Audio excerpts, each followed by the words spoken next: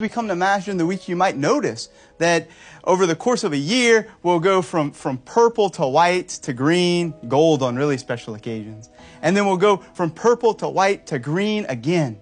From Advent to Christmas to ordinary time, then to Lent and to Easter and back to ordinary time.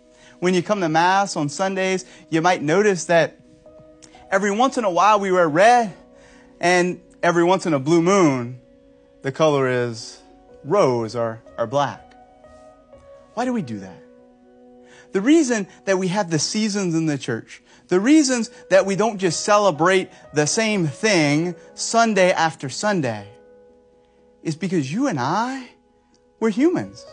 We're limited. We can't look at the whole mystery of God all at once.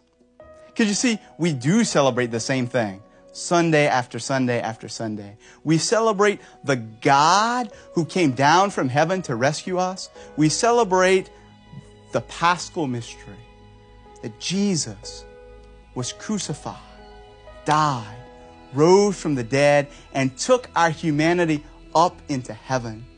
But for the sake of you and for the sake of me, we emphasize the different mysteries at the different points of the year so that we can better pray. In Advent, we remember that Jesus' coming didn't just happen out of thin air, but that he was prophesied. His coming was prophesied by, by Daniel, by Isaiah, by David in the Psalms. And we wait with expectant hearts for him to come to be born at Christmas, where we celebrate the King who came down to, from heaven to earth for us. When we move into ordinary time, either before Lent or after Easter, we celebrate Jesus who preached and who taught, who healed and who did exorcisms. We remember that Jesus calls you and calls me to be the light of the world, to shine the light of His power, to proclaim His teaching in the entirety of our lives. And then when we go to Lent, we enter into penance. We prepare our hearts for the greatest celebration of the year, for Holy Thursday, for Good Friday, and for Easter Sunday, by prayer and by fasting and by giving to the poor.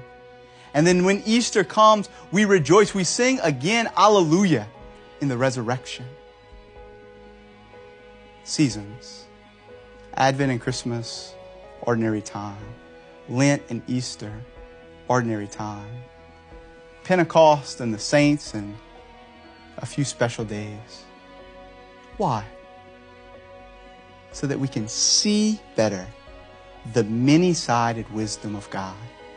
So that we can see better all the various ways that God shows His love for you and for me.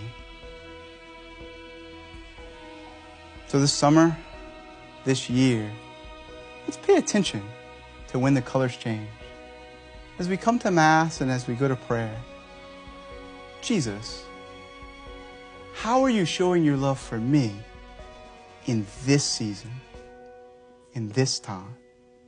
Open my heart to your mystery. Amen.